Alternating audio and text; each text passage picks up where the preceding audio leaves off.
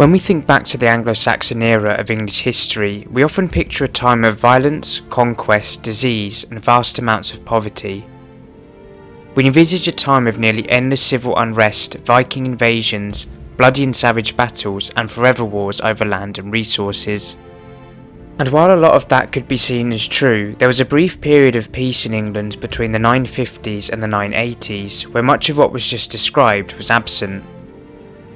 However, that 30 or so year lull in the bloodshed would ultimately come back with a vengeance at the time of a king known as Ethelred, who might have just been one of the most abysmal monarchs to ever take the throne. His lack of political foresight and incompetent decision making would see England plunged into a new era of turmoil of Viking raids and later invasion. One example from these decisions taking place at the beginning of the 11th century in the year 1002 would see the general calm in Great Britain between the English kingdoms to the west and the Danelaw to the east come crashing down.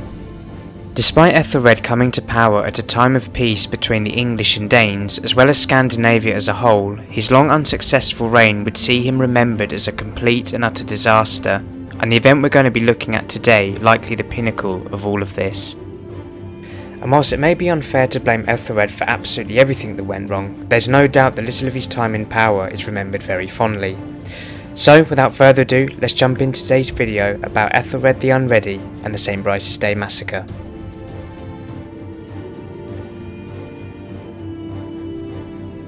As mentioned before, the 950s to the 980s were a time of relative peace across England. Long gone were the days of Lindisfarne, the subsequent Viking raids, Alfred the Great, Guthrum and the Great Heathen Army's invasion in the 800s, and so too was the political infighting, local turmoil and civil disturbances within England.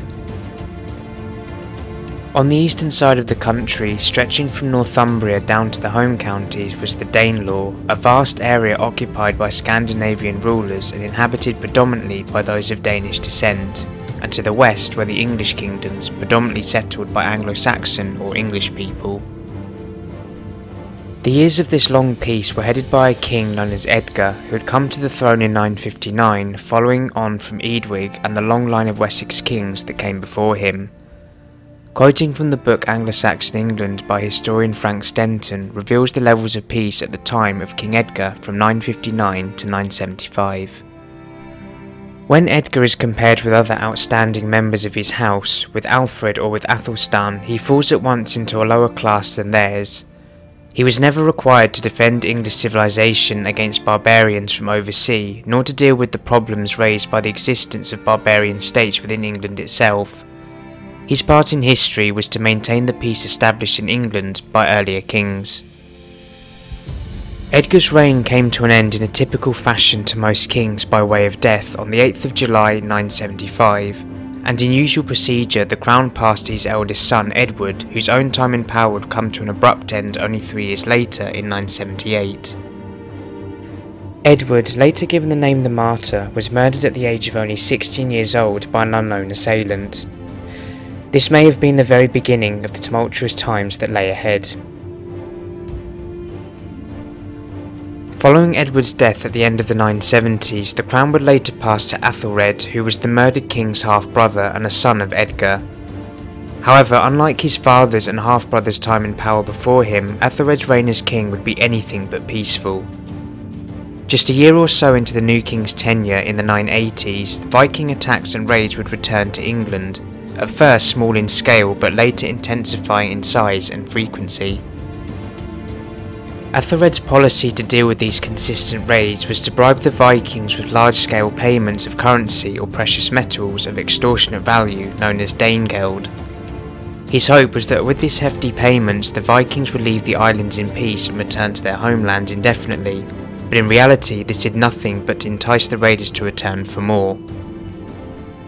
Facing increasing political and economic pressure for the weak responses to the Viking attacks, as well as a burden to keep upholding Danegeld payments, Ethelred's ability to control the fluctuating situation began to rapidly spiral out of control.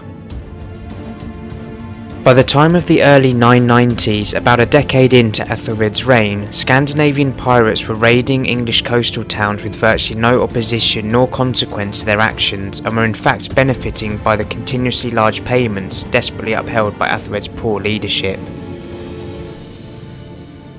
Not only this, but the raids which had begun as simple hit and run events on coastal settlements were now shifting more into land incursions as Danish raiding parties ravaged further and further inland. In the year 991, a much larger Viking force that had been encountered thus far, headed by Olaf Tryggvason, a future king of Norway, landed on the Kent coast to conduct a large-scale raid. With Ethelred's forces nowhere in sight, the defence of Kentish settlements fell to the responsibility of local earls and thanes to gather together local units. The confrontation between Byrhtnoth and Ealdorman and Tryggvason resulted in the Battle of Maldon.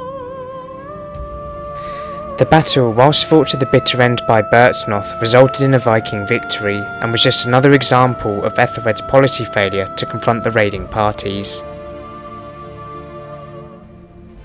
In addition to all these problems, the land known as Normandy to England's immediate south was closely allied with the Scandinavian nations and allowed Viking ships to dock and resupply in their ports.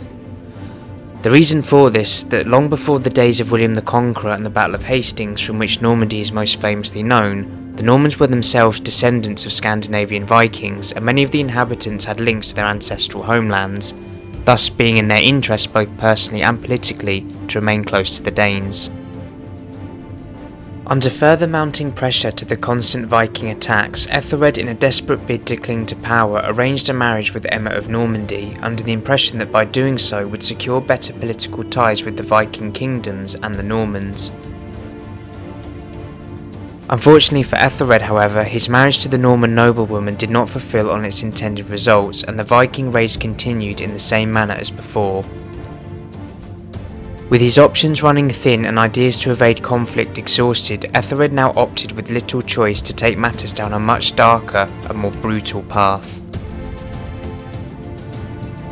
On the 13th of November 1002, Ethelred officially ordered the massacre of all Danes living in England with immediate effect. This day would witness carnage across a vast array of English towns and cities and see the mass slaughter of innocent and peaceful Dane men, women and children none of whom would have had little, if any connection to the raiding parties, nor much of a tie to Denmark itself. These Danes were more anglicised and many had family roots dating back over a century in England. It's unknown how many civilians were murdered on this day, but the fact that this is one of the better known massacres from a time that already was subjected to high levels of violence, it's possible to assume the numbers might have been hundreds or even thousands.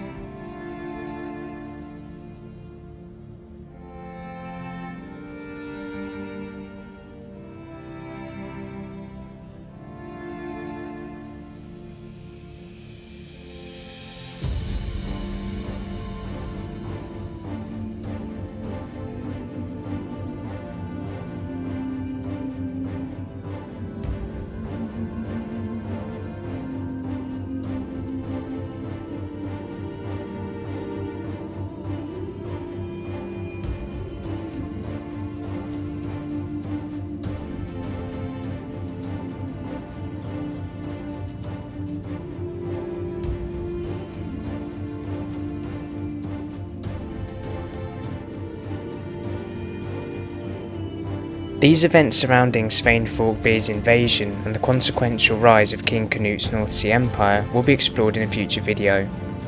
But for now, I've been Sketchy Past, and thank you for watching.